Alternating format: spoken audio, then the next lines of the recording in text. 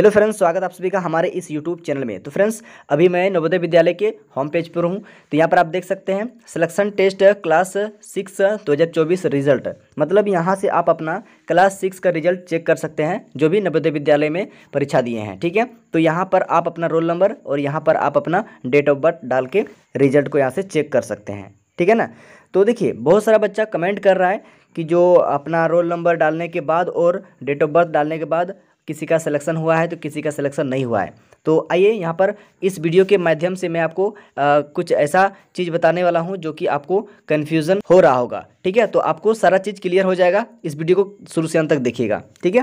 देखिए कुछ बच्चों का कहना है कि अगर मेरा सिलेक्शन होता है तो क्या लिखा हुआ आएगा? और अगर सिलेक्शन नहीं होता है तो क्या लिखा हुआ आएगा? तो उसी बात को इस वीडियो में हम क्लियर करने वाले हैं। ध्यान से देखिएगा वीडियो को, ठीक है? तो देखिए, यहाँ पर मान लेते हैं किसी कैंडिडेट का सिलेक्शन हो गया है तो उसका क्या आएगा?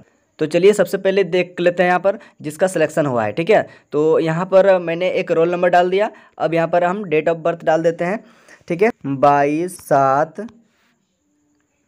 दो हज़ार बारह, ठीक है? ये डेट ऑफ़ बर्थ है। तो अब यहाँ से हम क्या करेंगे?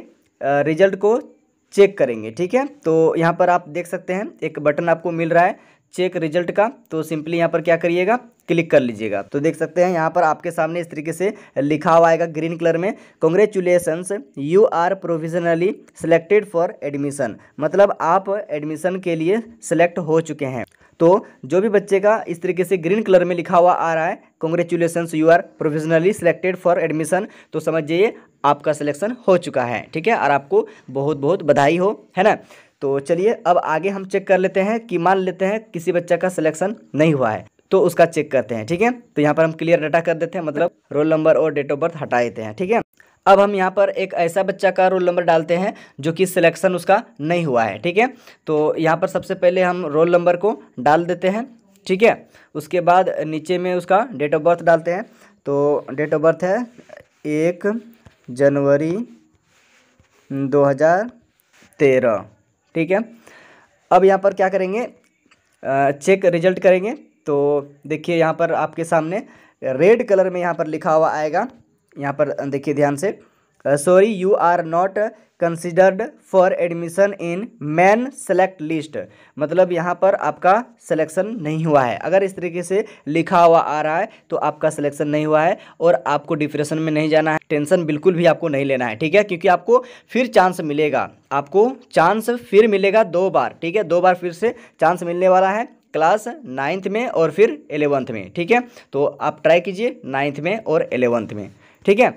अब बात कर लेते हैं। यहाँ पर नीचे जो है ना, एक नोट दिया हुआ है, इसको देख लीजिए। अगर कोई जम्मू कश्मीर से देख रहे हैं तो उसके लिए ये है, ठीक है? देखिए, इस नोट में कह रहा है not result of J N V result in respect of district Ganderbal Jammu Kashmir will be released separately मतलब जम्मू कश्मीर में एक ज़िला है, जो कि उसका नाम है गंदरबल तो जम्मू कश्मीर के गंदरबल जिला का जो रिज़ल्ट है ना, वो अभी जारी नहीं किया गया है। उसका रिज़ल्ट अलग से जारी करेगा, ठीक है? तो इसी का यहाँ पर नोट में दिया हुआ है। तो अगर आप जम्मू कश्मीर से इस वीडियो को देख रहे हैं तो ये आपके लिए है, ठीक है? तो इस तरीके से इस वीडियो में मैंने आपको समझाने का प्रयास किया कि अगर आपका लिस्ट में नाम आया है है ना? अभी जो लिस्ट आया है ना, ये आपका फ़र्स्ट लिस्ट है, ठीक है? ये आपका फ़र्स्ट लिस्ट है। अब देखिए, सेकेंड लिस्ट जो है ना, आपका कब आएगा? तो सेकेंड लिस्ट आपका पंद्रह से बीस दिन के अंदर में आपका सेकेंड लिस्ट आ जाएगा। ठीक है ना? अब सेकेंड लिस्ट कैसे आएगा? तो देखिए मान लेते हैं किसी जिला का अस्सी सीट है। ठीक है? अस्सी सीट में मान लीजिए किसी बच्चे का डॉक्यूमेंट वेरिफिकेशन में कोई गड़बड़ी हो गया। ठीक है? तो अलग अलग कैटेगरी है। ठीक है ना? एसटी है एससी है ठीक है? ओबीसी है।